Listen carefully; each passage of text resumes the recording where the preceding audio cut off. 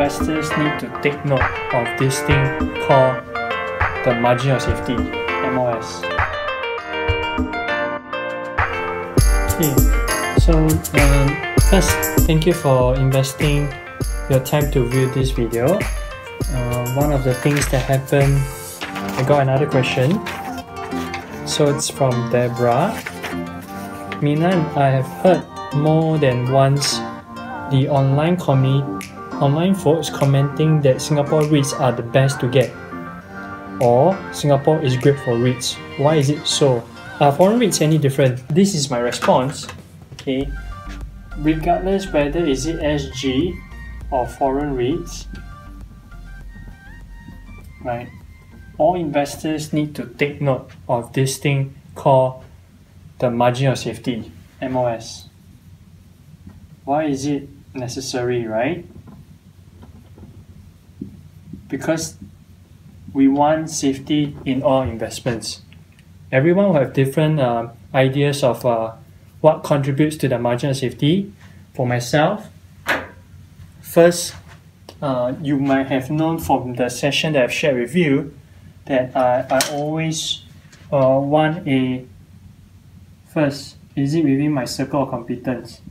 That's the first thing. So if you were to go to overseas REITs, do you understand how that REIT operates? Maybe you can say that would there be tax issues, different property laws?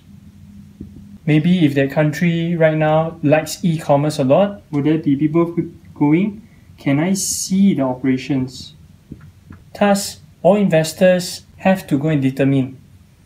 Because if you know that REIT is in your circle of competence, in the end, it increases the confidence of yourself as an investor holding and buying onto the REIT. At the end, probably the statement that the online community may have commented doesn't apply at all. Can you exercise independent thinking?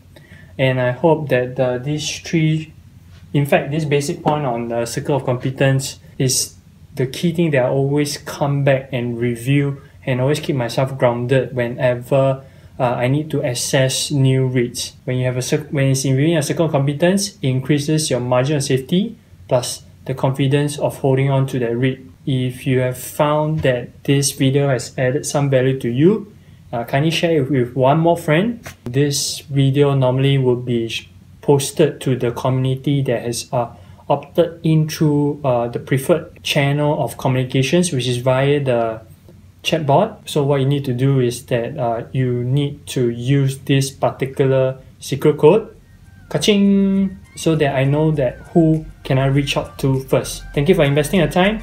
Uh, look forward to receiving your next question through the chatbot. Signing off.